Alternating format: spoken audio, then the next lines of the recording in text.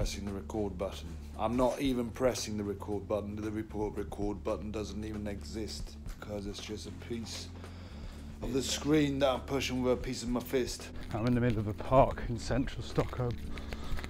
I'm a bit concerned as it should have been day three of my sourdough uh, project. Crikey, it's Saturday night and I'm nowhere close to getting my sourdough day two executed whatsoever. Well, April 2023 is over and done with. It's already consumed. I'm now speaking from the month of May 2023 and I've put together a little edition of me visiting vegetables and doing other spring activities during the past month. According to Wikipedia, cats have been used for millennia to control rodents, notably around grain stores and aboard ships, and both uses extend to the present day. This is why you can't trust Wikipedia. Trying to involve the kids in a bit of cooking, and um, it's been good, even though a bit stressful, but it's totally worth it. Totally worth it. So yeah, been eating good food, so can't complain about that. Spent a bit of time in nature to recharge the soul batteries. That's important to do that.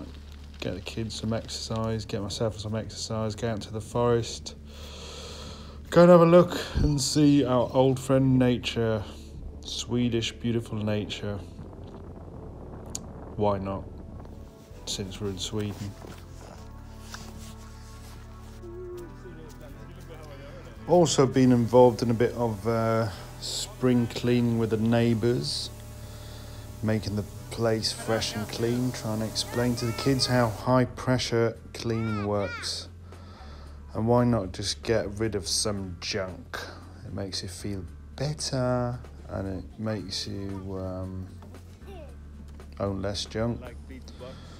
Also started a part-time job at the docks because the only time I need to work is when to actually put the ropes around the poles, I think they're called.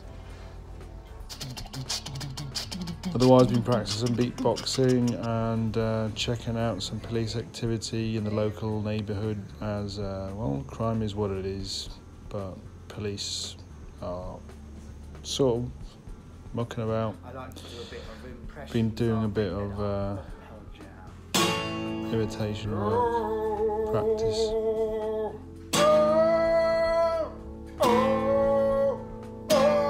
Eddie Vedder from Pearl Jam to the.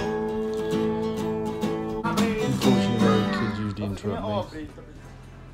Been taking the kids around to the local neighbourhoods in Högdalen in South Stockholm, checking out the lifts and escalators.